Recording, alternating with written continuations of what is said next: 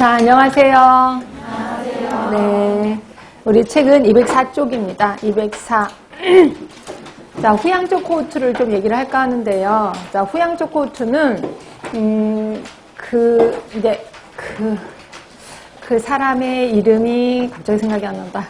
그 사람, 그 돌과 힐이요. 그러니까 돌과 힐이라는 사람이 음, 그때 당시에 그 폐암의 원인이 담배 흡연이다라고 얘기를 했었어요. 그때 담배 회사가 아니 증거를 대라 어떻게 담배가 폐암의 원인이냐라고 이제 증거를 대라고 싸움이 벌어진 거예요. 그래서 이제 국가 차원에서 이제 빨리 이 사실을 밝혀야 되잖아요. 그러면 원래 미국에서는 코호트 연구를 주로 할 때잖아. 근데 코호트 연구를 하려면 시간이 엄청 걸리니까 안 되잖아요. 지금 빨리 결론을 내야 되니까. 그래서 정부에서 돌과 힐 연구소에 가서 빨리 이거를 원인을 밝혀라라고 한 거예요. 그래서 이제 돌과 힐이 고민을 한 거죠. 어떻게 할까? 너무 연구는 길고 그래서 이제 머리를 싸 이렇게 머리를 아이디어를 좀 끄집어낸 겁니다. 그래서 그때 당시에 군인들이 미국 군인들이 제대를 할 때 생명보험 회사를 들게끔 돼 있었나 봐요. 그래서 이제 이 사람이 생명보험 회사를 찾아간 거죠. 가서 자 이거 혹시 10년 전, 20년 전에 차트를 볼 수 있느냐라고 했더니 볼 수 있다라고 하더래요. 그래서 그 창고에 가서 10년 전, 20년 차트를 본 거예요. 봐서 그때 당시에 담배를 많이 핀 사람을 골라낸 거죠. 골라내서 그 사람 명단을 갖고 와서 지금 전환한 거예요. 그러니까 20년 전, 10년 전에 사람에 대한 명단을 지금 전화한 거죠. 그래서 지금 멀쩡하십니까? 라고 물어봤더니 그때 담배를 많이 폈던 사람들이 지금 대부분 폐암에 걸려 있더라는 거죠. 그래서 이거는 코호트긴 코호트인데 과거로 돌아가서 과거의 노출군, 비노출군의 지금 현재 상태를 본 거예요. 이걸 우리는 후양적 코호트다, 코호트다라고 한 거고요. 그때 달가일은 이것만 한 게 아니라 환자 대조군도 동시에 같이 했습니다. 결국 환자 대조군, 후양적 코호트를 그때 처음 만들었다라고 보시면 돼. 달가일이. 자, 그러면 거기 일단 1번을 볼게요.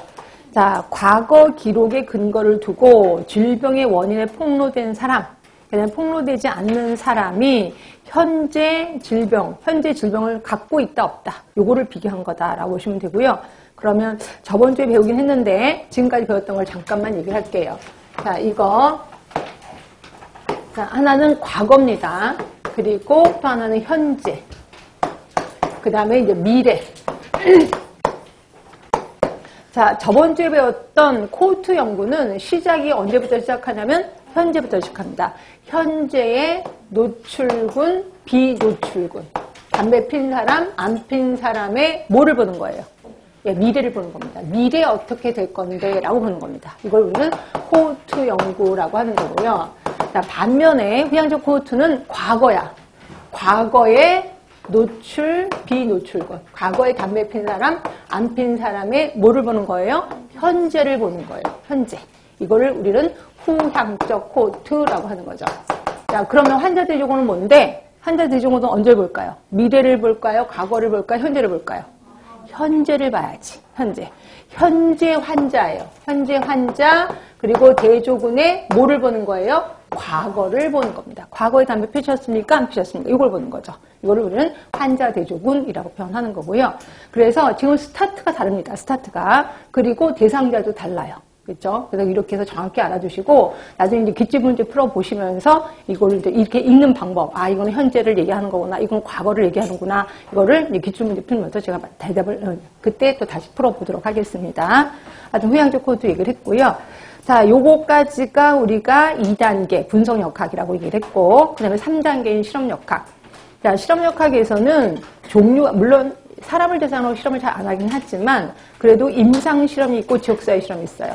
자, 임상 실험하면은 병원에서 하는 거예요. 그래서 대부분 그 약의 효과 이런 거를 보기 위해서 임상 실험을 하는 거죠.